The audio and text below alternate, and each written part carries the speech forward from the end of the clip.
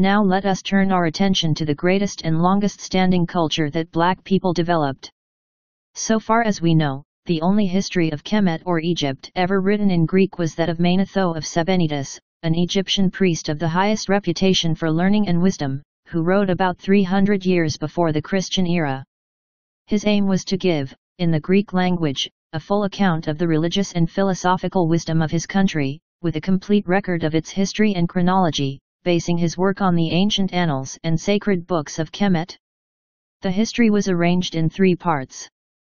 In the first part he gave what was known of the history of Kemet previous to the time of Menes, with the first eleven dynasties of the old monarchy, which Menes established.